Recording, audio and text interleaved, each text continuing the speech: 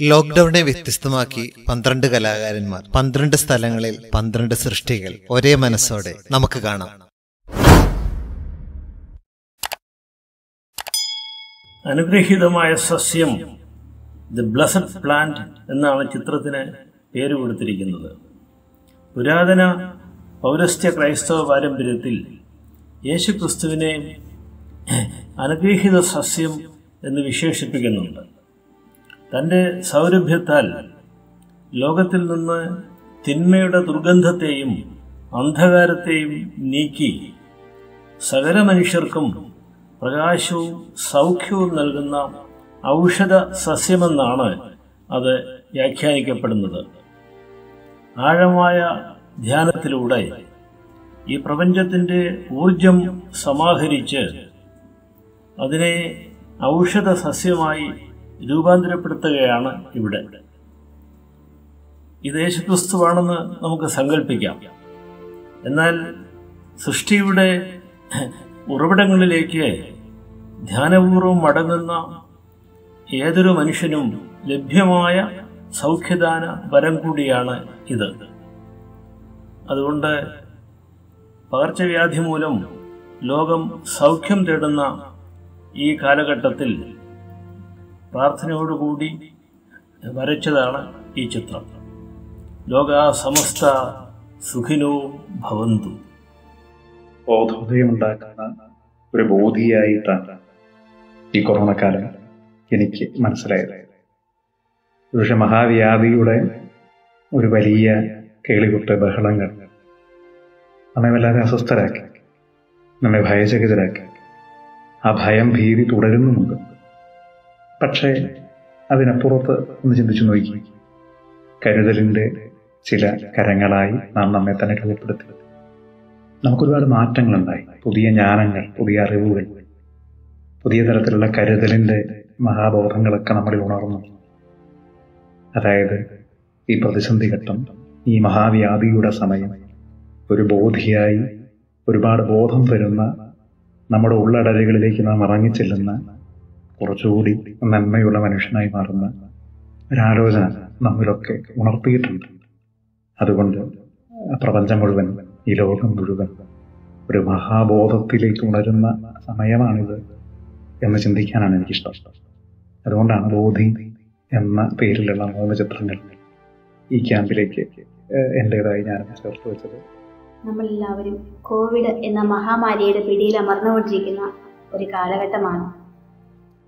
ഈ ഒരു സാഹചര്യത്തിൽ നമ്മൾ എല്ലാവരും സുരക്ഷിതരാണ്. അതുപോലെ നമ്മൾ സുരക്ഷിതത്വത്തിന്റെ തടങ്കലിൽ കഴിയുന്നവരാണ്. അപ്പം അതോടൊപ്പം ചേർത്ത് വെക്കേണ്ട മറ്റൊരു കാര്യമാണ് ആരോഗ്യ പ്രവർത്തകര് നിയമപാലകര് സാമൂഹ്യ പ്രവർത്തകര് അതുപോലെ ഗവൺമെന്റിന്റെ ആ നിയമ നടപടികളോട് ചേർന്ന് നിന്നുകൊണ്ട് അക്ഷീണം പരിശ്രമിക്കുന്ന ഓരോ വ്യക്തികളുടെയും സുരക്ഷിതത്വം. അപ്പൊ അവർ ജീവിതം പോലും മറന്നുകൊണ്ട് വ്യാപകലില്ലാതെ നമുക്ക് വേണ്ടി നമ്മുടെ ഈ നാടിനു വേണ്ടി അക്ഷീണം പരിശ്രമിക്കുന്നവരാണ്. ഈ ഒരു തീക്ഷ്ണമായ ചിന്തയിൽ നിന്നുമാണ് എനിക്ക് ഇങ്ങനെ ഒരു വർക്ക് ചെയ്യണം എന്നുള്ളൊരു ആഗ്രഹം ഉണ്ടായത്. ഇതിനുള്ള ഒരു അവസരം ഒരുക്കിയത് ഞാനും കൂടെ അംഗമായ കാർപ്പ് ആർട്ട് കുടുംബമാണ്. എല്ലാവരെയും ഒത്തിരി സന്തോഷത്തോടെ ഓർക്കുന്നു. കാറ്റത്ത് പറന്നു വീഴുന്ന ഒരു ഇലയെ ധ്യാനിക്കാതെ വിടർന്നു നിൽക്കുന്ന പൂവിന്റെ മുഖത്ത് നോക്കാതെ. ഇഴഞ്ഞു പോകുന്ന ഒരു പുഴുവിനെയോ പറന്നു പോകുന്ന പൂമ്പാറ്റയെയോ കാണാൻ ശ്രമിക്കാതെ നാം എങ്ങോട്ടാണ് ഇത്ര ധൃതിയിൽ യാത്ര ചെയ്യുന്നത്? അറിവിന്റെ പരകോടിയിൽ എത്തിയെന്ന് അഹങ്കരിച്ച് തനിക്കായി മാത്രം ജീവിക്കുകയും അപരനെയും പ്രകൃതിയെയും സ്വാർത്ഥ ലാഭങ്ങൾക്കായി ചൂഷണം ചെയ്യുകയും ചെയ്ത മനുഷ്യൻ താൻ ഒന്നുമല്ല എന്ന വിവേകത്തിന്റെ വിനയത്തിലേക്ക് എത്തിച്ചേർന്നത് കേവലം ഒരു പരമാണുവിലൂടെയാണ്. ഈ കോവിഡ് കാലത്ത് മനുഷ്യന്റെ ഈ നിസ്സഹായതയാണ് എന്റെ ക്യാൻവാസിൽ ഞാൻ ചിത്രീകരിക്കാൻ ശ്രമിച്ചത്. ദൈവവും മനുഷ്യനും പ്രകൃതിയും കൈകോർക്കുന്ന സമഭാവനയുടെയും സഹവർത്തിത്വത്തിന്റെയും നല്ല നാളുകളെയാണ് ഈ ചിത്രം ഓർമ്മിപ്പിക്കുന്നത്. നമസ്കാരം. എന്റെ പെയിന്റിംഗ് കംപ്ലീറ്റ് ചെയ്ത് കഴിഞ്ഞു. പെയിന്റിങ്ങിന്റെ പേര് ലോക്ക്ഡൌൺ തന്നെയാണ് കൊടുത്തിട്ടുള്ളത്.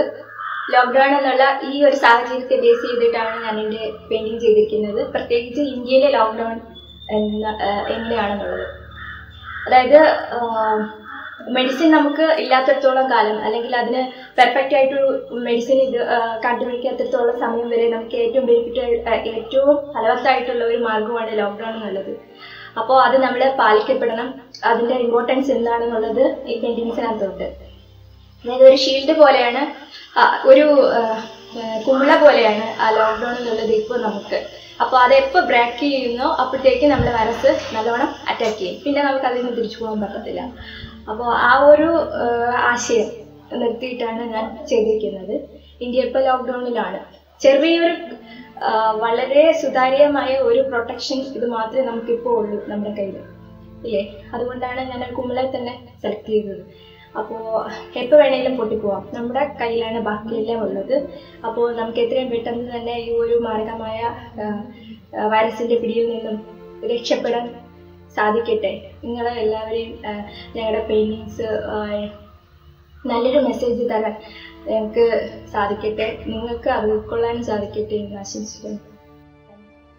കാർപ്പിന്റെ നേതൃത്വത്തിൽ ഒരു ക്യാമ്പിനെ കുറിച്ച് ചിന്തിച്ചപ്പോ ഈ ക്യാമ്പിന് എന്ത് പേരിടണം എന്നുള്ള ആലോചനയിൽ പല പേരുകൾ സജസ്റ്റ് ചെയ്യപ്പെട്ടു. അതിനകത്ത് ഏറ്റവും ഇഷ്ടപ്പെട്ട ഒരു പേരാണ് കെയറിംഗ് സ്ട്രോക്സ്. ഇന്ന് ഈ ലോകം മുഴുവനും വളരെയധികം വേദനയിലൂടെ കടന്നു പോകുമ്പോൾ കെയറിംഗ് അത് വളരെ ഇമ്പോർട്ടന്റ് ആണ്. നമുക്ക് പലയിടങ്ങളിലും ഈ കെയറിംഗ് കാണാൻ പറ്റുന്നുണ്ട്. പ്രത്യേകിച്ച് ഡോക്ടേഴ്സ് നേഴ്സസിന്റെ ഇടയിലൊക്കെ ഈ കെയറിംഗ് വളരെയധികം ശ്രദ്ധയോടെ നോക്കിക്കാണുന്ന ഒരു കാര്യമാണ്. നമ്മൾ ജനിച്ച് മരിക്കുന്നതിനിടയിൽ എത്രയോ പ്രാവശ്യമാണ് ഇവരുടെയൊക്കെ പരിചരണം കിട്ടിപ്പോകുന്നത്. പക്ഷെ ഒരിക്കൽ പോലും നമ്മൾ നന്ദിയോടെ പ്രാർത്ഥനയോടെ ഓർക്കാറുണ്ടോ എന്നുള്ളത് വളരെയധികം സംശയമുണ്ട്. പക്ഷെ ഇന്ന് ഈ കാലഘട്ടത്തിൽ ഇവരെല്ലാവരും തന്റെ സ്വന്തം ജീവൻ പണയപ്പെടുത്തിയിട്ട് വളരെ ത്യാഗത്തോടെയാണ് ഈ മേഖലയിലൊക്കെ ജോലി ചെയ്യുന്നത്. അതുപോലെ തന്നെ വീട്ടിലും വളരെയധികം കെയറിങ് പരസ്പരമുണ്ട്. മാതാപിതാക്കൾ മക്കളൊക്കെ ഒരുമിച്ച് കൂടി ഇപ്പൊ വീട്ടിലായിരിക്കുമ്പോൾ ഈ കെയറിങ് ഉണ്ട്. എന്റെ വർക്ക് എത്തിച്ചേർന്നത് ഇങ്ങനെ കെയറിങ്ങിലേക്ക് തന്നെയാണ്. അവിടെ ഒരു അമ്മയുടെയും അല്ലെങ്കിൽ ആതുര ശുശ്രൂഷ മേഖലയിൽ ജോലി ചെയ്യുന്ന ഒരു വ്യക്തിയുടെയോ ഒക്കെ ഒരു റെപ്രസെന്റേഷൻ ചിത്രത്തിൽ ഞാൻ കൊണ്ടുവന്നിട്ടുണ്ട്. അപ്പോൾ അവിടെ ഒരു കെയറിങ് ടച്ച് അതാണ് എനിക്ക് പങ്കുവയ്ക്കാനുള്ളത്. ആ ഒരു കെയറിങ് മെന്റാലിറ്റി അത് ഇനിയും തുടർന്നുണ്ടാകട്ടെ എന്നുള്ള പ്രാർത്ഥന മാത്രമേ കൂടെയുള്ളൂ. പ്രകൃതിയെ കൂടെ കെയർ ചെയ്യുന്ന ഒരു മനുഷ്യ സമൂഹമായി നമ്മളെല്ലാവരും മാറട്ടെ. കരുതൽ സ്പർശം എന്ന ചിന്തയെ ആസ്പദമാക്കിയുള്ളതാണ് ഈ ചിത്രം. ദുരന്തങ്ങളുടെയും വേദനകളുടെയും കാലത്തിലാണല്ലോ മനുഷ്യനിലെ ഏറ്റവും സുന്ദരമായത് വെളിപ്പെടുന്നത്. ഈ മഹാമാരിയുടെ കാലത്ത് കരുതലിന്റെയും പാരസ്പര്യത്തിന്റെയും സുന്ദരമായ മാനുഷിക ഭാവങ്ങൾ വെളിപ്പെടുന്നത് നാം കാണുന്നു. സർക്കാരിന്റെ തലം മുതൽ ആരോഗ്യ പ്രവർത്തകർ ഉൾപ്പെടെ വളരെ സാധാരണക്കാരായ സന്നദ്ധ പ്രവർത്തകർ വരെ എത്ര കരുതലോടുകൂടിയാണ് തങ്ങളുടെ സഹായഹസ്തങ്ങൾ മറ്റുള്ളവർക്ക് നേരെ നീട്ടുന്നത്. അവരൊക്കെ തങ്ങളുടെ സ്വന്തം എന്നതുപോലെ തങ്ങളുടെ ബന്ധുക്കൾ എന്നതുപോലെ. ഈ ചിത്രത്തിൽ മനുഷ്യ സമൂഹത്തെ സൂചിപ്പിക്കുന്ന സ്ത്രീയുടെയും പുരുഷന്റെയും രൂപങ്ങളുണ്ട്. ഇൻ യാൻ എന്ന പ്രതീകവുമുണ്ട്. വൈവിധ്യങ്ങൾക്കും വൈരുദ്ധ്യങ്ങൾക്കും അപ്പുറം പരസ്പര പൂരകങ്ങളാകേണ്ടതിന്റെ ഓർമ്മയാണത്. മനുഷ്യർ പരസ്പരം പൂരകങ്ങളാകണം. മനുഷ്യന് പ്രകൃതിയും പരസ്പര പൂരകങ്ങളാണ്. കാരുണ്യത്തിന്റെ ഈ കരുതലും കരുതലിന്റെ ഈ സ്പർശവുമാണ് യഥാർത്ഥത്തിൽ ഈശ്വര ആരാധനയും ഭക്തിയും ആത്മീയതയും ഒക്കെ. പ്രൊട്ടക്റ്റിംഗ് സ്ട്രോക്സ് പരിരക്ഷണം എന്നാണ് എന്റെ ചിത്രത്തിന്റെ പേര്. പരിരക്ഷണം സംരക്ഷണം ഇന്ന് ലോകം മുഴുവൻ ആവശ്യമായിരിക്കുകയാണ്. നമുക്കറിയാം കോവിഡ് മഹാമാരി ഇന്ന് ലോകം മുഴുവൻ കീഴടക്കിയിരിക്കുകയാണ് അടച്ചിട്ടിരിക്കുകയാണ്. ജനങ്ങൾ മരണഭീതിയാൽ കടന്നുപോയിക്കൊണ്ടിരിക്കുന്ന ഒരു കാലഘട്ടത്തിലാണ് നമ്മൾ ജീവിക്കുന്നത്. വിശ്രമമില്ലാതെ ഓടിക്കൊണ്ടിരുന്ന ഈ ലോകത്തെ പിടിച്ചു നിർത്താൻ ഇത്തിരി പോന്ന ഒരു വൈറസിന് കഴിഞ്ഞു. പെറ്റമ്മ കുഞ്ഞിനെ എന്ന പോലെ ഈ ലോകത്തെയും പ്രകൃതിയെയും സംരക്ഷിക്കുവാൻ നമ്മൾ ബാധ്യസ്ഥരാണ്. ഇത് നിങ്ങൾക്ക് എന്റെ ചിത്രത്തിൽ കാണുവാൻ സാധിക്കും. ലോഹം പലവിധ സംരക്ഷ- സംരക്ഷണത്താൽ പൊതിഞ്ഞിരിക്കുകയാണ്. അതുപോലെ ലോഹം നാല് ചുവരിനുള്ളിൽ ഒതുങ്ങിയപ്പോൾ നമുക്കായി രാപകൽ സേവനം ചെയ്യുന്ന ആരോഗ്യ പ്രവർത്തകർ പോലീസുകാർ സാമൂഹ്യ പ്രവർത്തകർ ഇങ്ങനെ നിരവധി പേർ പല രൂപത്തിൽ കഷ്ടപ്പെടുന്നവർക്ക് ആശ്രയമാവുന്നു. നമ്മുടെ രാജ്യത്തിന്റെ നിയമനിർദ്ദേശങ്ങൾ പാലിച്ചും പ്രകൃതിയെ സംരക്ഷിച്ചും സ്വയം ഉത്തരവാദിത്തങ്ങൾ നിറവേറ്റിയും നമുക്ക് ഈ ലോക്ക്ഡൗൺ കാലത്തെ അതിജീവിക്കാം. കൊറോണയെ നേരിടാം. ലോകത്തെ രക്ഷിക്കാം. ഈ സത്യങ്ങളാണ് ഞാൻ എന്റെ ചിത്രത്തിൽ ഉൾക്കൊള്ളിച്ചിരിക്കുന്നത്. കോവിഡ് നയന്റീൻ എന്ന മഹാമാരിയുടെ പശ്ചാത്തലം നമ്മുടെയൊക്കെ ജീവിതത്തിൽ വരച്ചു വെച്ച ഇരുളും വെളിച്ചവും. ചരിത്രത്തെ തന്നെ കോവിഡിന് ശേഷവും കോവിഡിന് മുൻപും എന്ന് രണ്ടായി പകുക്കുന്ന A C B C divide ആ A C B C divide എന്ന പ്രമേയമാണ്.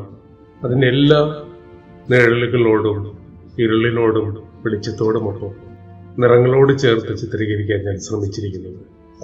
ഈ ഒരു ചരിത്ര വിഭജനത്തെ എന്റെ ഉള്ളിൽ നിന്നുള്ള ഒരു പ്രേരണയായിട്ട് എടുത്ത് അതിനെ നിറങ്ങളോട് ചേർത്ത് അനുഭവങ്ങളോട് ചേർത്ത് മനുഷ്യന്റെ നിസ്സഹായതയും അവന്റെ ചുറ്റും പടരുന്ന ഇരുളും അവിടെയും അവന്റെ ജീവിതത്തിലേക്ക് കടന്നു വരുന്ന വെളിച്ചവും ഒക്കെ ചേർത്ത് ചിത്രീകരിക്കാനായിട്ടുള്ള ഒരു ഹൃദയപൂർവകമായ ശ്രമമാണ്. കോവിഡ് കാലത്ത് കാർപ്പ് കലാകുടുംബം ഒരുക്കിയ ഈ ഓൺലൈൻ ആർട്ട് ക്യാമ്പിലൂടെ ഞാൻ ശ്രമിച്ചത്. ചാരിതാർത്ഥ്യമുണ്ട്. പല പരിമിതികൾക്ക് ഉള്ളിൽ നിന്നുകൊണ്ട് എന്റെ മുറിയുടെ നാല് ചുവരുകൾക്കുള്ളിൽ നിന്നുകൊണ്ട് അത് പൂർത്തീകരിക്കാനായിട്ടുള്ള എന്റെ ശ്രമം ഇതുവരെ എത്തി. ഒത്തിരി സന്തോഷത്തോടെ Joseph Joyson A C B C divide പുറത്താണ് മനുഷ്യൻ പ്രകൃതിക്ക് തന്നെ ഒരു വലിയ തലവേദനയായി മാറിക്കൊണ്ടിരിക്കുന്ന ഒരു കാലഘട്ടത്തിലാണ് നമ്മൾ ജീവിക്കുന്നത്. അപ്പോഴാണ് ഈ മഹാമാരി നമ്മളെ തേടിയെത്തിയത്. പ്രത്യക്ഷത്തില്ല മനുഷ്യന് ഒത്തിരിയേറെ നഷ്ടം ഉണ്ടാകുന്നു എന്ന് നമുക്ക് തോന്നാം. എന്നാൽ സത്യത്തിൽ പ്രകൃതി ഒത്തിരിയേറെ നന്മ കൊയ്യുകയാണ് ഒത്തിരിയേറെ സന്തോഷിക്കുകയാണ്. അപ്പോൾ ഈ ഒരു ചിന്തയിൽ നിന്നാണ് ഞാൻ ഈ പെയിന്റിംഗ് ആരംഭിച്ചത്. നിങ്ങൾ പെയിന്റിങ്ങിൽ കാണുന്നത് വലിയ മരങ്ങളാണ്. ആ മരങ്ങളിൽ സന്തോഷത്തിന് പ്രതീകമായിട്ട് മാസ്കുകൾ കെട്ടിയിരിക്കുന്നു. ഈ ഒരു പെയിന്റിംഗ് ചെയ്യുവാനായിട്ട് എന്നെ ഒത്തിരിയേറെ സപ്പോർട്ട് ചെയ്ത കാർപ്പ് കുടുംബത്തിലെ എല്ലാ സഹോദരങ്ങൾക്കും ഞാൻ സ്നേഹത്തോടെ നന്ദി അറിയിക്കുകയാണ്. നിങ്ങൾക്കും ഈ പെയിന്റിംഗ് ഇഷ്ടപ്പെടുമെന്ന് ഞാൻ പ്രതീക്ഷിക്കുന്നു. പ്രകൃതി ഇന്നിപ്പോൾ ഒരു റീസെറ്റ് മോഡിലാണ് എല്ലാം ഒന്ന് പുതുക്കപ്പെട്ടുകൊണ്ടിരിക്കുകയാണ്. അപ്പോൾ ഈ പ്രതിസന്ധി കാലഘട്ടം കഴിയുമ്പോൾ നമ്മളെല്ലാവരും ഉറ്റുനോക്കുന്നത് ജീവിക്കാൻ കൊള്ളാവുന്ന സുന്ദരമായ ഒരു ഭൂമിയിലേക്ക് വേണ്ടിയാണ്. പക്ഷികളൊക്കെ ഉള്ള പച്ചപ്പ് ഒരുപാട് നിറഞ്ഞ് ശുദ്ധമായിട്ടുള്ള വെള്ളം കിട്ടുന്ന സുന്ദരമായൊരു ഭൂമി. ആ ഒരു പ്രതീക്ഷയെ ഉറ്റുനോക്കുന്ന ഒരു ജനതയാണ് ഞാൻ എന്റെ ചിത്രത്തിലൂടെ അവതരിപ്പിക്കാൻ ശ്രമിക്കുന്നത്. സ്പേസിന്റെ ചിത്രമാണ് ബാക്ക്ഗ്രൗണ്ടായി കൊടുത്തിരിക്കുന്നത്. ഭൂമിയെ ഭൂമിയുടെ പ്രതീകമായി ഒരു സ്ത്രീയെ ചിത്രീകരിച്ചിരിക്കുന്നു. ഭൂമി മനോഹരിയാണ്.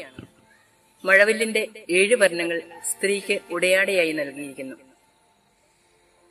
നമ്മൾ ആരും ഇതേവരെ കേട്ടുകേൾവി പോലുമില്ലാത്ത കൊറോണ രോഗം ഭൂമി മുഴുവൻ വ്യാപിച്ചിരിക്കുകയാണ്. വിഷലിപ്തമായ ഭൂമിക്ക് ഇരുണ്ട നീലവർണമാണ് കൊടുത്തിരിക്കുന്നത്. ഈ ദുരവസ്ഥയിൽ നിന്നും ഭൂമിയെ രക്ഷിക്കുവാൻ നമുക്ക് സാധിക്കും. സ്നേഹത്തിന്റെയും കരുണയുടെയും കരുതലിന്റെയും ലളിത ജീവിതം നയിച്ചുകൊണ്ട്. അതിന്റെ പ്രതീകമായി മദർ തെരേസയുടെ സാരിയുടെ നീലക്കരകൾ ബാക്ക്ഗ്രൗണ്ടിൽ നമുക്ക് കാണാം.